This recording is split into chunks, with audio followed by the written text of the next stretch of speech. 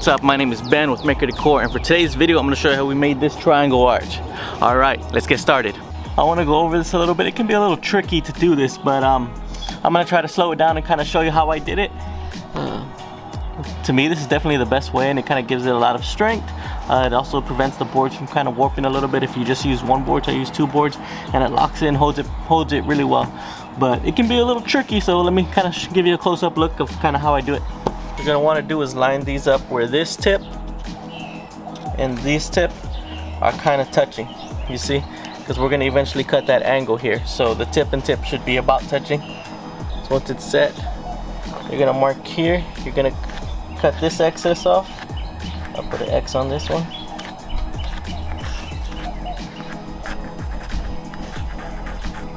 And then from under you're gonna draw from here too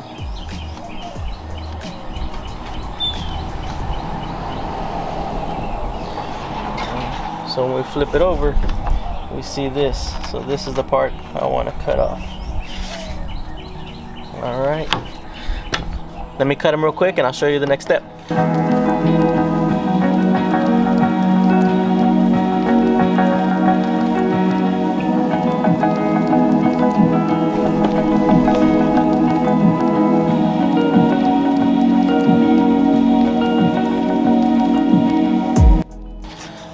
Right now this is what we got left. This was the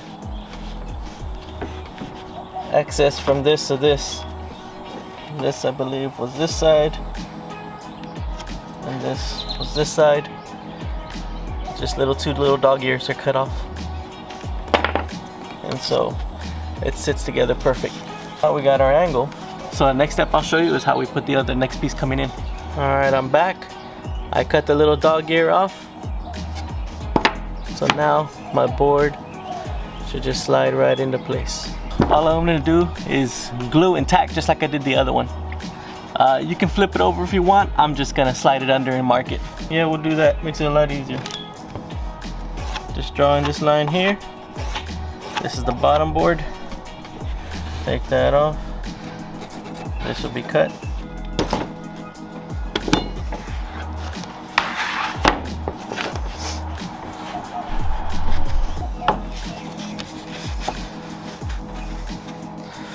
Now that's all four pieces. All I'm gonna do is glue and tack both of these together.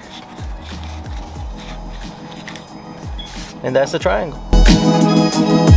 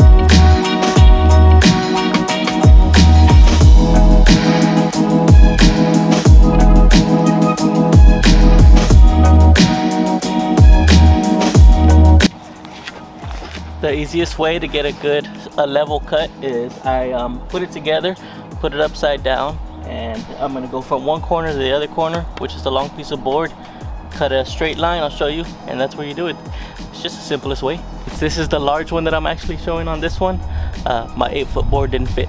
But I just tacked on an extra little piece that I had and it'll make it fit.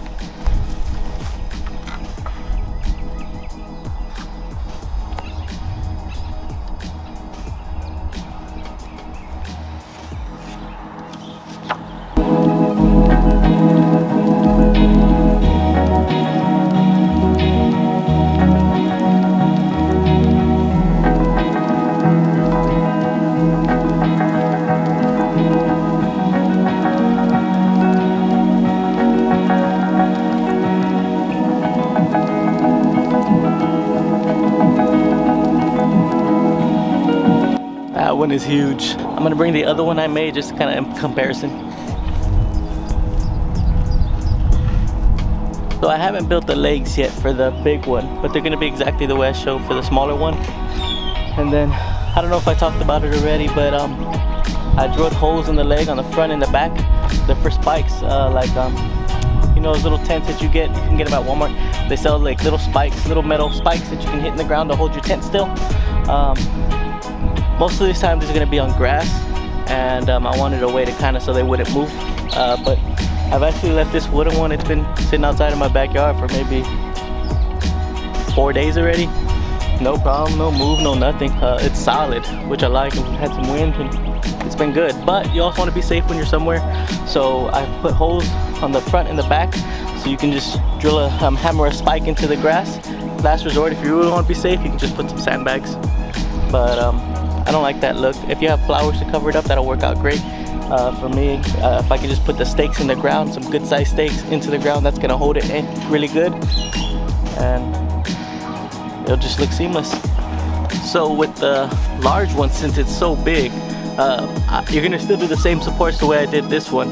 But um, I'm also gonna add a 2x4 in the back uh, just to kind of give it a little support from the wind. Uh, it should be fine, but it's always better to have the better support, especially for the height that it is. Tall one, it's just gonna be better to do that.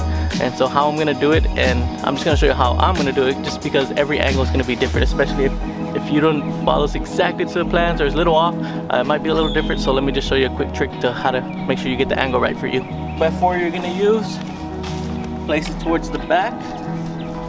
What you're gonna do is you'll have this lifted up just a little bit. You can put like a, a 2x4 under this or a 1x2. And then all you're gonna do is trace that straight line across this and that'll give you a line to cut here. And then once you cut that, you're gonna place it on top here and then you're gonna follow this.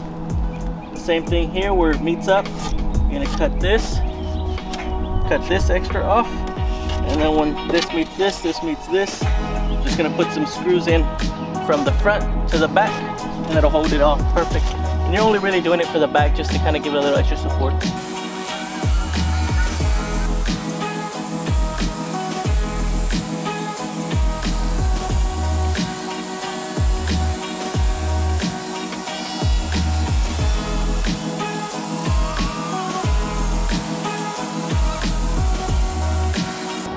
Alright, thanks for watching the video. Hope this really helps. Again, if you want these plans, they're going to be available on our Etsy store.